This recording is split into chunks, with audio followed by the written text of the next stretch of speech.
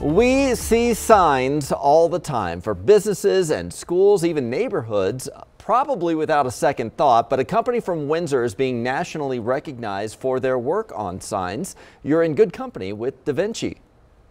Denver 7 got quite the welcome when we showed up to DaVinci Signs Fabrication Center in Windsor. Inside, they're building some of the most recognizable signs across the Front Range. If you've been South Denver and you see the big Meridian towers that are basically big light up boxes, from little to big, we build it all.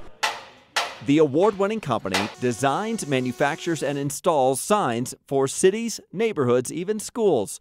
So these electronic message centers will get mounted on here. Okay. Then the school will be able to display, you know, hey, this is back to school day. PTO meeting. Yeah. Right, yeah. This is our summer schedule. It was recently named one of the top 75 small businesses in the country by the National Chamber of Commerce, in part because of their work.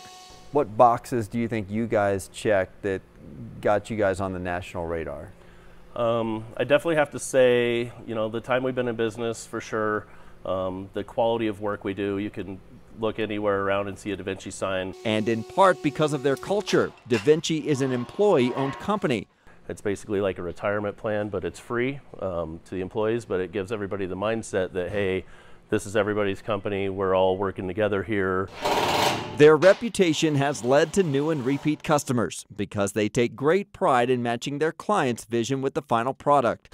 Like this is what finished product is going to look like. There's their existing sign. We're going to go remove that guy. New sign's going to come in its place. Now they hope you'll notice too. You take pictures and make sure everybody's happy. And Yep. Until you sign off. And then they say, thanks. Yeah, that's the good they- part. Yeah. And we say, wonderful. We'll we'll send the rest of your bill. That, and and tell your friends. Yeah.